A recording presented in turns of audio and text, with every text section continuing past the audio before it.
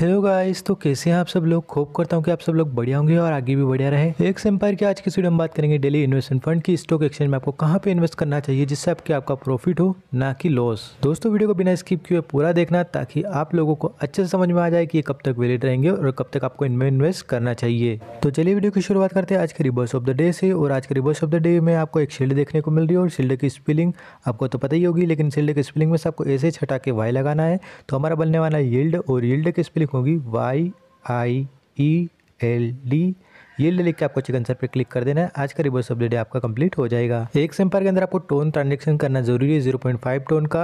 आपको जल्दी जल्दी कर लेना ताकि आप एड्रोप के लिए एलिजिबल हो जाओ। अगर अभी तक आपने ट्रांजेक्शन नहीं किया तो आप मुझसे परचेस कर सकते हो टेलीग्राम पे ज्वाइन करके। वहाँ पर आप मुझसे कॉन्टैक्ट कर लेना टेलीग्राम पे आपको मेरी इंस्टाग्राम आईडी मिल जाएगी। वहाँ से मुझे कॉन्टैक्ट करके टोन परचेस कर सकते हो। बाकी मेरे चैनल पर जो परचेस नहीं कर सकते, उनके लिए गिव भी हो रहा है गिव में पार्टिसिपेट करने के लिए। आप लोगों को सबसे पहले इस वीडियो को लाइक कर देना वीडियो को लाइक नहीं कर तो वीडियो को लाइक करो। और चैनल पर नहीं हो तो जल्दी से चैनल को सब्सक्राइब करके पास में जो घंटे वाला बटन उसको दबा कॉल पे सेट करो।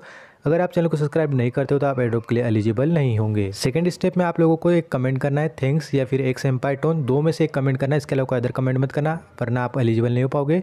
और दूसरी चीज़, अगर आप बिना सब्सक्राइब किए सिर्फ़ कमेंट करते हो लाइक करते हो तो आप एलिजिबल नहीं होंगे। क्योंकि वाईटी स्टूडियो के अंदर आपका नाम दिख जाता है। मैं सर्च करके देख लूँगा कि इस बंदे ने सब्सक्राइब किया है नहीं किया है। सब्सक्राइब नहीं किया होगा तो मैं आपको डिस्कालीफाई कर दूँगा। और थर्ड स्टेप है, आपको मैं टेलीग्राम चैनल पर ज्वाइन कर लेना है। टेलीग्राम चैनल पर ज्वाइन करोगे, मैं आपको एक लिंक दूँगा। उस लिंक पर आप ज्वाइन कर लेना।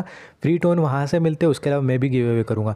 दोनों तरीके से आपको फ्री टोन मिलेंगे। अब मैं आपको कुछ एयर ड्रॉप भी बताऊँगा, जैसे फ्री टोन मिलते हो और मैं खुद भी गिव अवे करूँगा तो आपको टेलीग्राम चैनल भी ज्वाइन कर लेना है। टेलीग्राम चैनल का लिंक आपको मैंने कमेंट बॉक्स में पिन किया हुआ दे दिया है। तो दोस्तों, अब बात करते हैं आज के रिडल ऑफ़ द डे की, जो कि अभी अभी जस्ट आया है। तो रिडल ऑफ़ द डे का आंसर होने वाला है। रिवॉर्ड और रिवॉर्ड की स्पेलिंग है? R E W A R D reward reward लिख के आपको चेकन से पे क्लिक कर देना। अब बात करते हैं एपिसोड नंबर की। वाच यूट्यूब वीडियो में अगर आपको एपिसोड नंबर 64 आया है तो एपिसोड नंबर 64 का कोड होगा one seven two six four one seven two six four episode number sixty four का कोड होगा।